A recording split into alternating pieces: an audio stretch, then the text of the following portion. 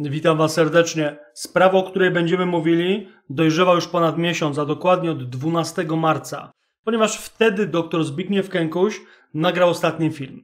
Ktoś może powiedzieć hola hola, ale to jest mężczyzna koło 50. On nie prowadzi kanału na Minecrafcie, on nie jest szafiarką, żeby opowiadał o swoim życiu przez internet, czy to dla atencji, czy to dla pieniędzy. To jest całkowicie inny typ człowieka, całkowicie inny typ kanału. Ja się z tym zgodzę, oczywiście. To jest mężczyzna, który ma rodzinę, chyba, no, czy rozbitą, czy nie, ale ma rodzinę, ma obowiązki, ma swoje zobowiązania. E, tylko, że e, z jednej strony była duża aktywność pana Zbigniewa Kękusia do tego czasu, wręcz wzmożona, a oprócz tego, jakby na to nie patrzeć, on dzielił się jednak swoim życiem z widzami, a dokładniej takim motywem przewodnim jego e, kanału już od dobrych chyba kilku lat były szarpanki z wymiarem sprawiedliwości. Z jednej strony to było siłą, z drugiej strony to było słabością tego kanału, ponieważ e, nie każdego to mogło interesować. Ja się przyznam, że przychodziłem tam na filmy, e, które traktowały na dany temat, a te całe, czy to są perypetie, czy może dramat, z wymiarem sprawiedliwości, to, to była sprawa poboczna. Po prostu wchodzą na ten, na ten kanał, y, przeklikując niektóre filmy, y, stamtąd czerpałem na ten temat wiedzę, ale no, nie byłem na bieżąco, nie jestem na bieżąco, chociaż prześledziłem, co się działo w ostatnich filmach. Pomyślałem sobie, że wejdę sobie w 3-4 ostatnie filmy i tam może będzie mówił, że nie będzie miał czasu, że musi sobie odpocząć. Rozumiecie, tak? Mógł powiadomić e, widzów, że nie będzie przez jakiś czas nadawał. W jednym z ostatnich filmów e, dowiadujemy się, że prokurator Legutko chce wsadzić doktora Kękusia do psychiatryka. Jakby to kuriozalnie nie brzmiało, każdy, kto ogląda jego programy, wie, że to jest człowiek inteligentny. E, to jest ostatnia rzecz, o jaką można by było doktora Kękusia podejrzewać, że jest to osoba niestabilna psychicznie. Wiadomo, że podczas e, takich perypetii, jakie on z wymiarem sprawiedliwości przechodzi i e, traktując o, e, o takich, a nie innych tematach, każdemu czasem może siąść nastrój i czy powiedzieć, czy zrobić coś więcej. Co więcej, mi doktor Kękuś bardzo imponuje, jak się porusza w gąszczu przepisów, jak orze różnych funkcjonariuszy partyjnych, którzy akurat zalegają w Ministerstwie Sprawiedliwości. I mimo, że szkoda mi czasu, godziny, półtorej, żeby dowiedzieć się, jak on tam się szarpie z tą całą e, z tą całą administracją, to no, wyłapując te momenty, widać, że nawet dowala się do, mm, e, do detali, które jak tak sobie pomyśleć, to rzeczywiście chłop ma rację, e, jak chociażby wysyłanie jakiegoś małego świstka e, w dużej kopercie i po co tracić pieniądze na dużą kopertę. A pamiętajmy, że to są, e, to są oszczędności budżetowe razy 10 tysięcy, razy 100 tysięcy e, takich kopert. I to jest akurat bardzo trywialny przykład, ale to też nie chodzi, żebym ja opisywał twórczość I w sumie twórczość to nie jest twórczość, to jest życie. życie i problemy, z jakimi się zmaga doktor Kękuś, bo osoby, które przyszły na ten film, no, znają doktora Kękusia. No ale dobrze, żeby się nie oddalać od tematu. 12 e, marzec, film, w którym doktor Kękuś mówi, że 18 marca ma się stawić do sądu i tam będą, nie wiem, czy jakaś komisja się pojawi, czy na jakiej to jest zasadzie, to bym się nie musiał dowiedzieć, E, będą tam jego zdrowie psychiczne e, ustalali. E, sam już fakt, 16, pamiętam to, 12 mówi o tym, że za niecały tydzień i, I to też takie właśnie wysyłanie pism, żeby a to komuś święta popsuć, bo tam był jakiś wniosek przed świętami, a to żeby tego nie odebrać. Doktor Kękuś odbiera to jako zagrywki funkcjonariuszy administracji. Ciężko powiedzieć, czy to jest byle jakość poczty, czy tam rzeczywiście próbuje się temu człowiekowi utrudnić życie, nie mi to oceniać. I, i, I co ustaliłem? Dobra, mówię sobie, film jest 12, 18 miał się stawić. Patrzę, są jeszcze dwa inne filmy. Przeklikałem je. Co tam się dzieje? I, no i mówię, no w sumie nie mówi o tym e, dokładnie o tej komisji, z tego co kojarzyłem e, na chwilę obecną, bo teraz sobie nie przypominałem tych filmów. Ja to e, z dwa tygodnie temu sprawdzałem. No i mówię sobie, no dobra, no chyba, chyba dobrze poszło, albo może nie wie, co tam się, jaki będzie werdykt Wysokiego Sądu. I, no i tak czekałem. No i co jakiś czas ktoś ten temat podnosił. W ostatnich dniach ten temat podbił MKTV. I ja w sumie od niego też się dowiedziałem, że coś się dzieje z Eterem. A, ale oprócz tego jeszcze ktoś taki na Twitterze jak Sebastian Kowalski.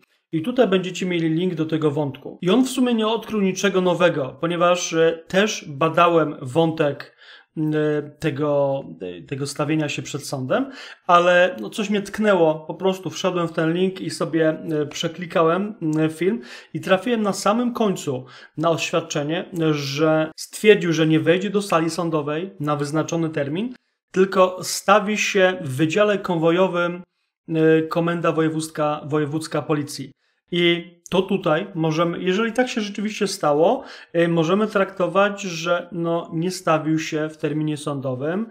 Y, zaraz potem y, państwo pisowskie stało się no, takie już na, na wpół policyjne i myślę, że takie sprawy mogły być przez funkcjonariuszy policji załatwiane w tak zwanym trybie przyspieszonym, czyli już wtedy nikt z nim nie gadał, tylko no po prostu pana Kękusia y, mogli do aresztu doprowadzić, y, żeby tam czekał na następną rozprawę. Kwestia następna, ponieważ co mnie zmyliło, że są dwa następne filmy. Zacząłem również te filmy przeklikiwać i zobaczyłem, że to są filmy z tego samego dnia. Również są z 12, a zacząłem z uporem maniaka odświeżać ten, przeglądarkę, bo mówię sobie, może coś się zawiesiło. Czyli co? Czyli jednak film, w którym mówił, że za parę dni y, ma stawić się przed sądem, bo będą badali, czy jest on stabilny psychicznie, a on mówi, że nie pójdzie na rozprawę, że stawi się gdzie indziej. Bo wiecie, on mógł sobie iść tam do tego y, komendy wojewódzkiej policji i no i co mu tam powiedzą? Y, po prostu chyba puścili go do domu i najprawdopodobniej po krótkim czasie, teraz tak sobie dopowiadam, żeby nie było, dopowiadam sobie, y, no, mogli funkcjonariusze się do doktora Kękusia zgłosić. Ale tutaj jest sytuacja, gdzie wy możecie pomóc. No i oczywiście nie będę robił apelu do ludzi z całej Polski. Widzimy, że y, tutaj mamy ograniczone przemieszczanie się, ale do osób z Krakowa, ponieważ w tym wątku, o którym mówię, Sebastian Kowalski, tam co prawda to jest inna osoba, odkryła adres doktora Kękusia. I to nie jest e, stalkowanie, ponieważ kiedy doktor Kękuś e, pokazywał e, to, to zawiadomienie, to nie zakrył adresu. I tam ktoś zrobił stopklatkę i jest adres doktora Kękusia. Ja tam sobie nawet w Google Street View zobaczyłem e, blog, w którym mieszka. Ja nie będę tutaj podawał tych danych. Jeżeli ktoś jest zainteresowany, niech wejdzie w ten link. E, ja mam nadzieję, że mm, jeżeli ktoś miałby iść, no to to jest osoba, która darzy szacunkiem doktora Kękusia i e, no jest osobą, która nie będzie robiła jakichś krzywych akcji, tak? Tak jak mówię, doktor Kękuś pokazał, czy świadomie, czy nieświadomie, co mi imponowało, e, on jednak e, takie, takie rzeczy, które jednak e, są w charakterze człowieka, jeżeli chodzi o uporządkowanie, ponieważ na przykład jestem syfiarzem, tak? A ja widzę na przykład jak, jak żona, czy, czy na przykład mój ojciec, jak oni z różnych pism to a to podkreślą kolorkiem, a to tutaj coś zrobią, a to karteczkę klejącą zrobią i doktor Kękuś tak jakby prowadził biuro, tak te, tak te archiwalne sprawy prowadził. Więc myślę, że on tutaj yy, na pewno, yy, gdyby chciał, zamazałby ten adres. Tym bardziej jak zobaczycie to pismo, tutaj taki wiecie, yy, zielony, odblaskowy, tutaj podkreślenie. Y, tak czy owak, ktoś może pomóc, jeżeli mieszka w okolicy, iść bez jakiegoś nachalnego mm, ładowania się z, z buciorami, zadzwonić domofonem, ewentualnie e, spytać się sąsiadów, to jest dziesięciopiętrowy blok, e, wypytać się, albo przynajmniej byśmy e, mieli kontakt, nawet może bez takiej ingerencji. Może się zdarzy, że ktoś mieszka pół godziny drogi, kilkanaście minut drogi i już bez jakiegoś zbytniego wchodzenia, ale raz zadzwonić na domofon, przyjść inną porą na drugi dzień, zadzwonić, zobaczyć wieczorem, czy się światło nie świeci. Może w ten mało, mało ingerujący w jego życie sposób sprawdzić, czy, czy coś się dzieje. Jeżeli ktoś martwi się, no to jest możliwość, żeby sprawdzić po prostu. Ja jestem z drugiego końca Polski, doktora Kękusia e, cenię, ale no, no nie mogę wszystkiego rzucić i pojechać, ale to chodzi, żeby działać razem. Ktoś znalazł jedną część tej układanki, ktoś zwrócił uwagę na coś innego, ja to przekazuję. No i pałeczka jest teraz po waszej stronie. Tak? Można to wszystko rozwiązać. No ja bym chciał, żeby, no co, żeby w tym momencie, jak ostatnio się dzieje, doktor Kękuś po prostu wrzucił film i sprawa by się, sprawa by się po prostu e, rozwiązała. Ale no tak nie jest. Może jutro, może pojutrze się dowiemy, no ale jak ktoś się martwi, może po prostu wsiąść w tramwaj, w samochód, e, czy iść piechotą, w zależności gdzie jest i może to sprawdzić. Odpada już ten argument, że ja sobie siedzę przed kąpem i no właśnie, załatwcie to za mnie, ja wam, ja wam dam lajka, ja wam napiszę komentarz i to jest wszystko, tak? Coś po waszej stronie.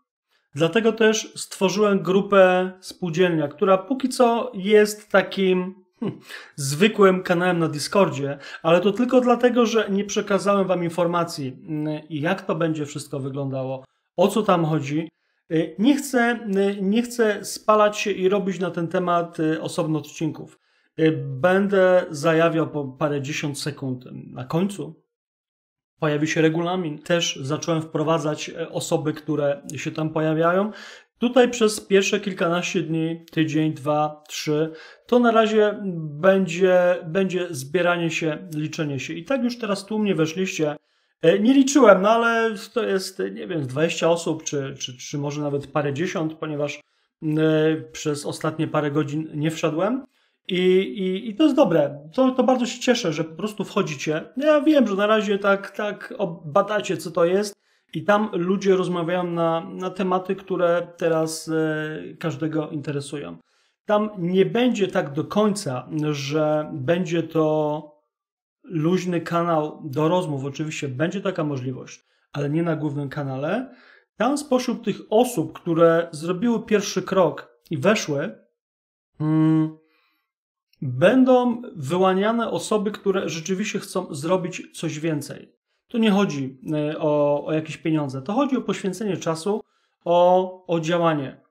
Ja zaproponuję moje pomysły, wy zaproponujecie swoje pomysły i tak będziemy szli w stronę z jednej strony rozpowszechniania, rozpowszechniania wiedzy, z drugiej strony jakiejś konsolidacji, dobierania się na krótkie projekty, czy coś będzie trwało tydzień, czy coś będzie trwało przewlekle miesiącami.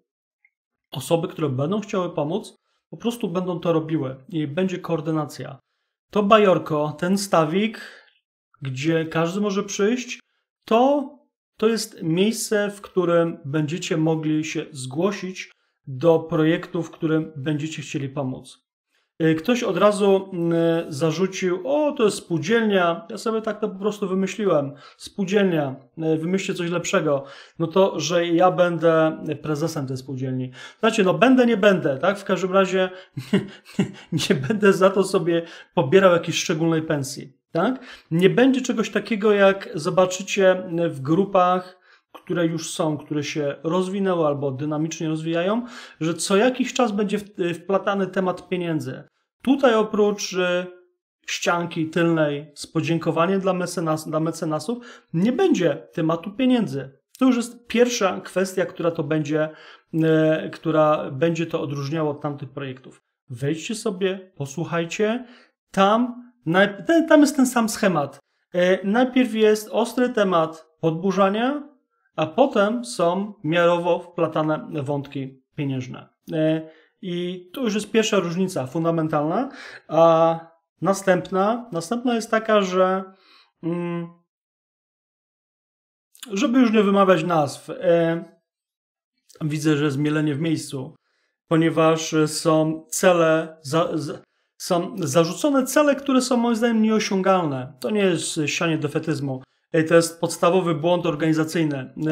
Z jednej strony to działa na początku, ojejku, ludzie się głoszą, tutaj będzie, będzie społeczeństwo równoległe. No właśnie, ale potem to już tak nikt o tym nie pamięta. To robi się z tego zwykłe kółko dyskusyjne, plus właśnie zarzucanie różnych tematów, plus oczywiście wspomożenie pieniążkami organizacji na rozwój. Tutaj będą, zaczniemy od krótkich celów, które są w zasięgu ręki. Y, jeżeli ktoś będzie pomysły podkradał, bardzo dobrze, bo to nie chodzi o to, żeby powiedzieć to, to my to musimy zrobić. To chodzi o to, żeby te pomysły się przedostawały. Jeżeli inne grupy, większe, lepiej zorganizowane, będą te tematy podchwytały, podchwytywały, bardzo dobrze.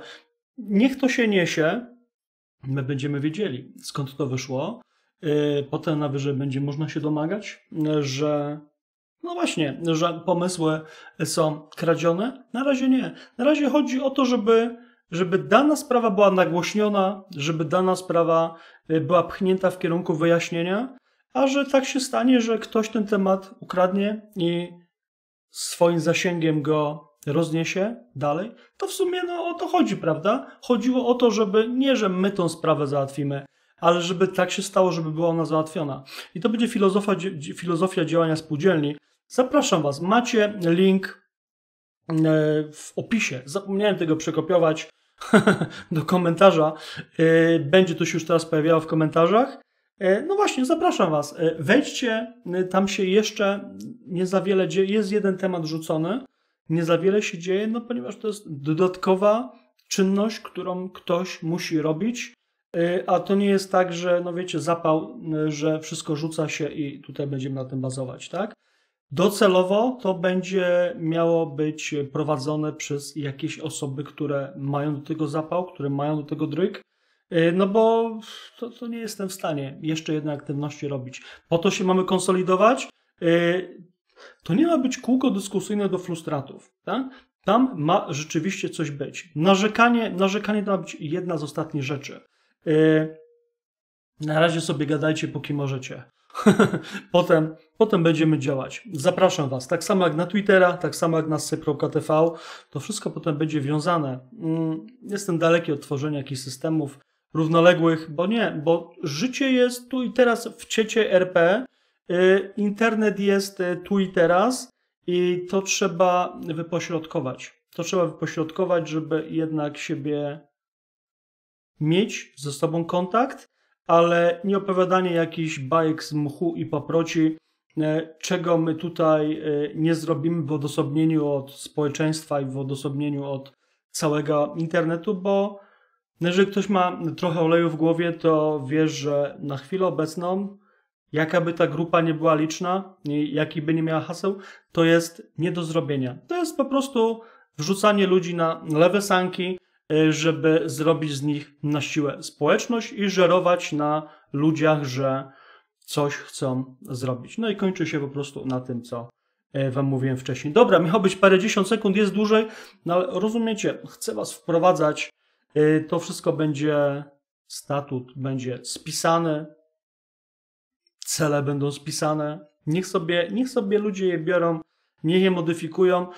Ja mam głowę pełną pomysłów, znajdą się ludzie, którzy mają głowę pełną pomysłów i zawsze będziemy o parę kroków przed osobami, które, no właśnie, coś tak robią, bo jest to sprawdzony schemat e, youtuberów, takich młodzieżowych, gdzie można z ludzi zrobić grupę, można z nich zrobić armię zombie, e, jeszcze ponakręcać na różne akcje, na siano, na sklepik. E, sami wiecie, jak ten schemat działa. Tutaj czegoś takiego nie będzie. Czekam na Was. Tymczasem życzę Wam miłego dnia, miłego wieczoru i pozdrawiam Was serdecznie.